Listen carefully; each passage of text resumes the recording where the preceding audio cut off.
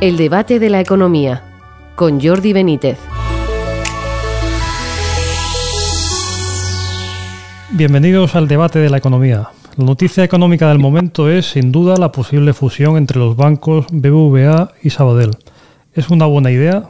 Lo hablaremos a continuación con nuestros expertos invitados. Junto con esta información tan relevante hemos tenido otras a lo largo de la semana. Entre ellas hemos sabido que las familias españolas han conseguido recuperar por fin el nivel de renta disponible del que disponían antes de la crisis financiera en el año 2007. Han pasado nada menos que 16 años. ¿Algo marcha mal en nuestra economía si hemos tardado tanto tiempo? Por otra parte, estos días hemos conocido también el nuevo subsidio de desempleo que aumenta la cuantía y que ha sido aprobado sin contar con la COE, la patronal de los empresarios. Y esta semana hemos conocido también nuevos datos de paro, con una visión positiva por parte del Gobierno y escepticismo por parte de otras fuentes. Además de todo ello, este domingo hay elecciones en Cataluña, algo que aprovecharemos para hablar sobre su economía. Para tratar estas cuestiones tenemos hoy con nosotros a Santiago Carbó, director de Estudios Financieros y director ejecutivo del Observatorio de Digitalización Financiera de FUNCA. Bienvenido, Santiago. Buenos días, muchas gracias. Tenemos también con nosotros a Rafael Pampión, catedrático de, Economía Aplicada en la Universidad CEU San Pablo. Bienvenido, Rafael. Hola, ¿qué tal? Oye, pues si os parece, arrancamos con la, con la noticia del, día.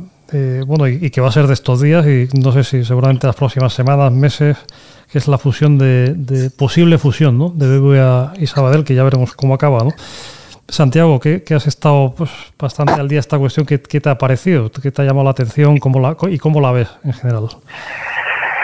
Pues la verdad es que, desde luego, mueve el tablero de ajedrez ¿no? de las finanzas o del sector financiero español. Ya no se puede llamar fusión, ahora ya hay que llamarle adquisición hostil, ¿no? O intento de adquisición hostil o OPA hostil, ¿no?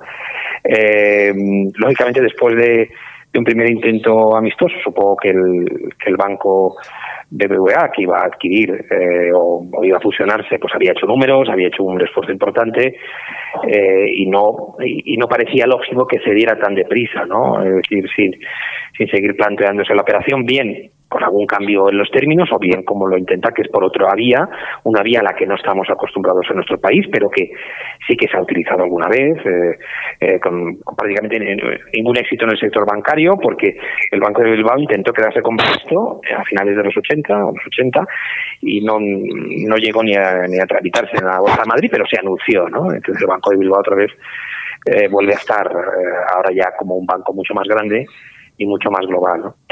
Eh, esta, operación, pues eh, yo creo que eh, tiene una vertiente internacional clara, ganar dimensión internacional, diversificación con el Reino Unido, estar más preparado para las inversiones cuantiosas que hacen falta en tecnología y sobre todo en inteligencia artificial. No olvidemos que en paralelo las tecnológicas no paran de crecer. Entonces, en este ámbito los bancos pues también, porque manejan información, tecnología de información lo harán. Y la vertiente doméstica que siempre es más complicada, con, con una valoración ah, negativa del gobierno, eh, la primera que, ha hecho, y con preocupación, y habrá que seguirlo de cerca, eh, sobre el, impacto sobre la concentración y la competencia, que es algo que debe velar la Comisión Nacional del Mercado y la Competencia, ¿no? para que no haya eh, distorsiones en el ámbito competitivo ni tampoco en el ámbito de la inclusión financiera. tiene muchos equilibrios que lograr esta, esta OPA, primero si, si tiene éxito, claro. Rafa, ¿qué, qué, cómo, lo has visto, esta operación? A mí me parece que eh, eh, el tamaño es importante. Es una operación que lleva consigo también eh, racionalizar las plantillas y probablemente suponga un ajuste que lleve a, muchos empleados a, enfilar las, las, cifras del desempleo, ¿verdad? Pero claro, es lo que decía Santiago, hay que ser competitivos, estamos en un mercado mundial y, en un mercado mundial reducir costes de intermediación de, la banca pues es, es, fundamental. O sea que yo creo que es una operación que, que se ha hecho demasiado rápida, no sé, Santiago cómo lo ve, no sé si podía haber dado lugar a un mayor diálogo eh, entre ellos para llegar a un acuerdo, porque hay varios accionistas de referencia eh, que son que son accionistas de los dos bancos, ¿no? que son BlackRock y Norges Bank. Y a mí me parece que Eh, eh, la competencia, evidentemente, dentro del territorio nacional queda reducida. Yo creo que también, aparte del gobierno, el gobernador del Banco de España eh, dio algún, alguna pincelada sobre esa posible dificultad que además añadía el gobernador a demasiado grande para que caiga, ¿no? Es decir, que, que pasan a ser bancos de un tamaño que hay que salvar en caso de dificultades. Santiago, aparte de estas dos cuestiones que planteaba Rafa, de cómo las ves, de sobre la celeridad, si podría haber habido una mayor negociación, que por otra parte, ahora, bueno, estaba siguiendo ahora últimamente la rueda de prensa de VA que ha hecho, que ha hecho aparte de la conferencia de analistas, ¿no? y, el presidente de VA comentaba que, bueno, que ellos siguen dispuestos a dialogar. Bueno, han lanzado una OPA hostil, pero dicen que están, siguen dispuestos a dialogar. Ya veremos a ver si, si Sabadell también está tan cercano, ¿no? Pero bueno, aparte de esas dos cuestiones, también desde el punto de vista de mercado, que era uno de los temas que el, que el gobierno planteaba, ¿no? Si se si va a haber más problema eh, pues no sé, porque hay una mayor concentración en el mercado, entonces, no sé, de cara a los consumidores, ¿no? Pues cómo afectaría esta fusión si, si se produjera. Bueno, en el ámbito de la celeridad, yo es que normalmente, como no tenemos una información interna de, de, las dos entidades, no sabemos el, el, diálogo que han podido tener, los trabajos preparativos, por qué tiene interés en hacerlo a los tres días eh, bueno, no, no, habían pasado ni tres días de, del anuncio del Sabadell que no lo afectaba. Eso supongo que, que habrán muchas mentes sesudas en el BBVA que habrán pensado que por qué ahora, ¿no? Es decir, eh, eh, y además a cuatro días de las elecciones catalanas, cuando las dos entidades, sobre todo el Sabadell, y aunque ahora tenga la sede en Alicante, eh, pues tienen una presencia muy importante, notable en, Cataluña, y eso iba a afectar de alguna manera. Y, la valoración política en ese contexto iba a ocurrir sí o sí, porque no se pueden quedar callados ante algo así, ¿no?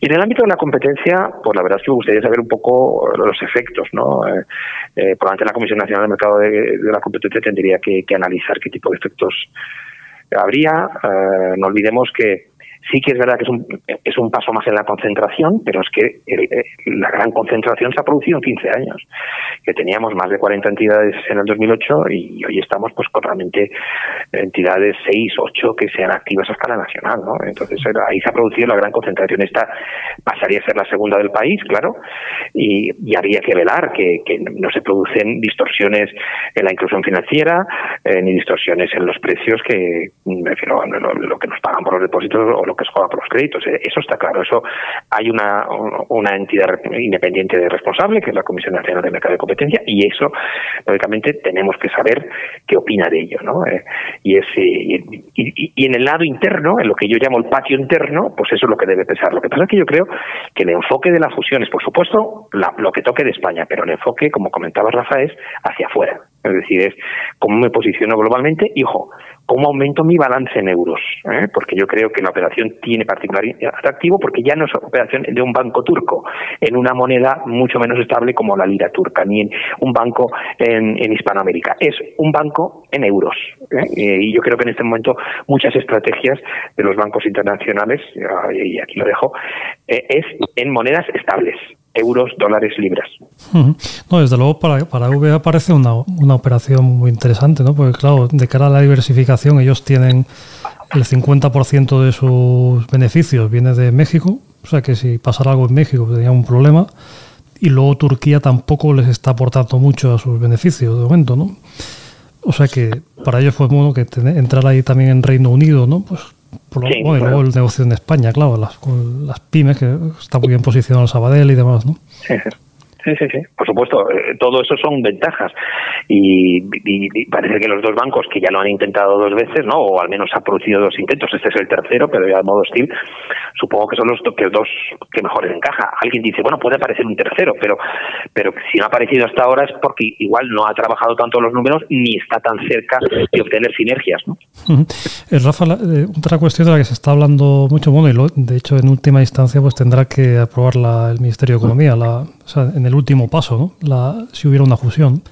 Pero bueno, cada vez parece que cada vez que hay una operación empresarial, ¿no? Pues siempre está saliendo la pregunta a ver qué opina el gobierno. Esto, ¿hasta qué punto te parece normal o positivo? Porque a mí me parece que el gobierno se mete mucho, es decir, que eh, entrar en Talgo, entrar en Telefónica, eh, no es necesario, eh, que el, gobierno tendrá que decidir pues lo que sea mejor para los ciudadanos. Y eso, pues como ha dicho muy bien Santiago, la Comisión Nacional de los Mercados y de la Competencia son los que tienen que velar para que haya esa competencia eh, y de hecho es, es una institución independiente que, que, lo ha hecho, lo ha hecho desde hace muchos años, tanto para las energéticas como para las telefónicas y como lo puede hacer también para la banca.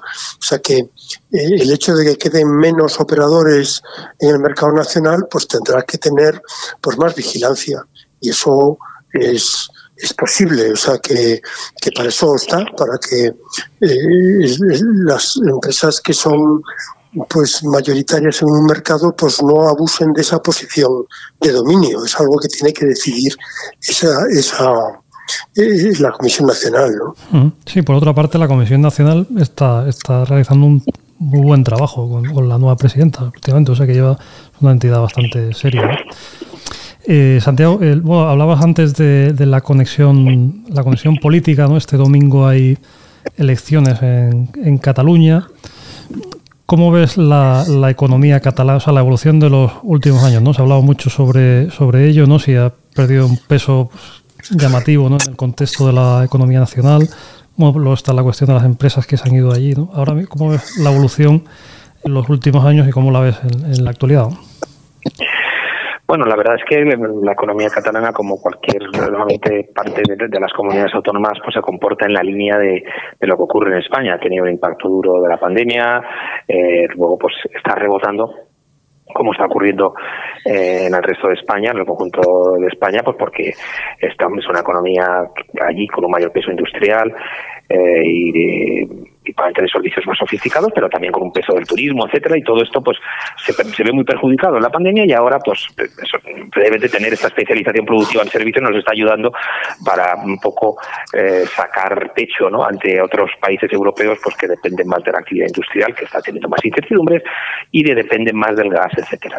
Dicho esto, Evidentemente, eh, Cataluña y los catalanes no han perdido para nada eh, su capacidad, su talento, etcétera. El problema que ha ocurrido es que se ha creado una incertidumbre política tan grande desde hace ya casi 10 años, o 10 años, porque no es en el 2017, anteriormente, que muchas empresas y mucho de ese talento, pues ya no está de alguna manera escrito a Cataluña, se, ha trasladado a otras zonas, aunque sea al final impronta catalana, es decir, sean catalanes que se han ido o que están operando o que o cuyos resultados se asignan a otro territorio y por tanto ha perdido ese vigor Cataluña eh, como era antes y esa capacidad de, atraer eh, eh, pues el talento y atraer empresas es decir no ha desaparecido el talento. Lo que pasa es que evidentemente por un lado se ha ido a otro sitio y por otro lado el nuevo entorno generado pues quizás es menos proclive, a que haya empresas que quieran invertir allí y es muy importante que esa incertidumbre termine es decir, porque si con incertidumbre nadie, o por lo menos menos inversores acuden, no digo ninguno, pero menos acuden. Y esta es, esta es la, la gran clave. Por supuesto que sigue siendo una, una sociedad rica, por supuesto que, que, sí que está integrada en el mercado en el mercado único español, todo lo que sea, pero evidentemente con demasiadas distorsiones y que al final termina, o todo el mundo terminamos diciendo Cataluña no es lo que era o Barcelona no es lo que era. Y eso es lo que es una pena, porque esa es una apreciación que no solamente se hace desde dentro de nuestro país, sino también desde fuera. Rafael, ¿tú, ¿tú cómo lo ves? Bueno, la percepción de que eh, dos partidos importantes eh, en Cataluña pues eh, promuevan la independencia es algo que genera incertidumbre a, a, los empresarios. Se han ido 8.000 empresas. Empezaron por CaixaBank, por el Sabadell, que son bancos que, que sabían que si hubiera independencia automáticamente Cataluña se queda fuera de la zona del euro y por tanto que no pueden tener el recurso al crédito que el, que el Banco Central concede al sistema bancario. Entonces, eh, con, esa salida de esos dos grandes bancos, pues lógicamente eh, fueron detrás muchas empresas. ¿Y, por qué se fueron esos dos bancos? Pues porque muchos clientes eh, pues estaban dispuestos a cambiar sus cuentas, sus depósitos a otros bancos a nivel nacional, que sabían que quedaban bajo el, el paraguas de la, de la zona del euro. y muchos clientes también de activo, pues lógicamente pedirían crédito a otros bancos españoles que no a los catalanes, porque los tipos de interés podrían subir ante ese mayor riesgo que tendrían las entidades en el caso de una independencia. O sea, a mí lo que me sorprende es que todavía haya gente que, esté mirando por eh, ese, ese, ese referéndum eh, de, independencia y que ese referéndum llevaría a Cataluña a estar fuera de la Unión Europea automáticamente en la independencia de Cataluña.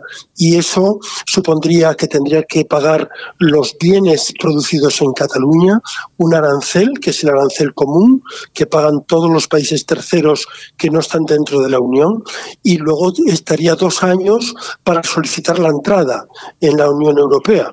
Y, y, y eso es un lío para, para todos los inversores, tanto los inversores que están dentro como los inversores que vienen de fuera. O sea que es una mala noticia ¿no? que haya pues todavía partidos que el domingo eh, voten eh, dos partidos que estén a favor de la independencia y por tanto parece que los partidos que aseguran que eso no va a ocurrir, que es el Partido Socialista de Cataluña y el Partido Popular, pues esos son los, los que tengan quizá el voto más útil para el futuro de Cataluña como un, una comunidad autónoma con crecimiento y con solvencia dos cuestiones distintas y terminadas. Una para ti, Rafael, el otro día, y, luego la otra la hago a Santiago. Pero para ti, Rafael, el otro día te veía en, televisión comentando los, datos de empleo, los últimos datos, ¿no? Bueno, estos datos de empleo, como con otras estadísticas, ¿no? Pues hay muchas veces la, la, pues la duda, ¿no? Porque hay, pues por un lado, el, gobierno habla de, una manera pues muy positiva, ¿no? Y luego, pues hay otras personas que no, que ven cuestiones que no les cuadran. en cuanto a los datos de empleo recientes que acaban de salir esta semana, que, ¿cómo los has visto? Bueno, los datos de empleo en España, hoy mismo ha salido el dato de aumento de población en España. Ha aumentado la población en el primer trimestre en, en ciento en 82.000 personas, somos, sí, 82.000, y, y somos ya un tope, 48,7. Pero la mayor parte son extranjeros. Es decir, en España entraron el año pasado 500.000, en el 22 también 500.000, este año entrarán otros 500.000, aumenta mucho la población. Y esa población residente en España, mucha de ella es de gente inmigrante mm, de baja productividad, que trabaja en sectores donde hay mucho empleo ¿eh? y ese empleo genera producción. De hecho, España es uno de los países que más crece, o sea, crece un 0,7% en el primer trimestre de este año, ¿eh? y cuando la media de la zona del euro está muy por debajo. Eh, ¿Y eso por qué es? Porque hay mucha gente trabajando en sectores de la construcción, la agricultura, restauración, hostelería, turismo, empleo del hogar, pero claro, toda esa gente no aumenta la productividad. Entonces decimos, bueno, pero los salarios son muy bajos en España. Sí, los salarios son muy bajos en España porque la productividad es muy baja en España. Tenemos un problema de productividad. Entonces, la apuesta no tiene que ser de atraer mano de obra em, eh, intensiva em, en trabajo, sino industrializar y generar empleo en sectores de alta tecnología. O sea, que esos datos de empleo son datos que al dividir luego eh, esa producción, esa mayor producción española, al dividirla por esa entrada de extranjeros que se quedan, pues la renta per cápita no sube. La renta per cápita está por debajo de la media de la, de, la Unión Europea. ¿Y por qué? Pues porque, porque aumenta mucho eh, el denominador, que es la población, y en cambio el PIB crece, pero no suficiente como para que el cociente aumente. Eh, la última para ti, Santiago. Bueno, salvo si quieres, por supuesto, comentar alguna de las cosas que ha comentado Rafa en las dos últimas, por supuesto, pero aparte quería preguntarte por esta estadística que ha salido esta semana de la OCDE eh, en cuanto a que hemos recuperado las familias españolas comentaban, ¿no? Pues que hemos recuperado la, la renta real disponible previa a la crisis financiera de 2008, 16 años después, ¿no? Eh, o sea, hemos recuperado la de 2007. Ayer, en un acto del Instituto Empresa Familiar, el presidente del gobierno, Pedro Sánchez, lo, comentaba en el inicio de su discurso como un dato muy positivo, decía, ¿no? pero esta evolución hasta qué punto, eh, quiero decir, pues son, han pasado 16 años, ¿no? Eh, refleja que, bueno, que hay cosas que podríamos hacer en nuestra economía mejor, ¿no? ¿O es algo normal? ¿Cuál es tu opinión? Bueno, vamos a ver, yo creo que, que el impacto de la pandemia fue muy duro eh, y, y, luego, pues, la verdad es que entre el ahorro que se produjo ahí eh, y luego una evolución, una evolución pues de, cierta resistencia del empleo, eh, aunque hayamos tenido inflación, etcétera, si el empleo ha trabajado ha resistido bien, pues lógicamente se ha ido una, una evolución bastante favorable que, ha ayudado a que el consumo privado eh, pues esté evolucionando pues de alguna manera favorablemente, ¿no? Estamos en unas condiciones mejores. Yo creo que, que estas de alguna manera condiciones mejores que se encuentra España además viene explicada por algo que estaba comentando Rafa, ¿no? Estamos teniendo la entrada de, capital humano, eh, particularmente hispanohablante, más que en otros países. Eh, y como aquí los salarios pues, son más bajos, el coste del trabajo es más bajo, pues muchas empresas se, están posicionando aquí, con lo que está ayudando a que la economía española pues, tenga una mayor fortaleza. Y yo creo que también nos está ayudando los menores costes energéticos. el mix energético español, con un mayor peso en las renovables, pues también está ayudando y, eso hace que las empresas estén aquí y, se haya entrado en una especie de, de círculo virtuoso casi sin que a lo mejor em, la política gubernamental haya entrado en ello, bueno, quizás no solamente en los costes energéticos, ¿no? Entonces, eh, para mí, yo creo que son relativamente buenas noticias, pero queda tanto por hacer, es decir, tenemos un paro diferencial, tenemos unos un bajo nivel de productividad que, no permite esos salarios más altos, ¿no? Y, con todos los problemas que tiene eso, y eso, pues, de alguna manera, se puede celebrar que estemos ya en una situación mejor que, que antes de la pandemia, nos ha costado bastantes años, pero queda yo creo que mucho por delante. Bueno, pues hasta aquí hemos llegado con este programa. Muchísimas gracias a Santiago Carbó, a Rafael Pampillón y a ustedes por seguirnos y les esperamos una próxima edición del debate de la economía.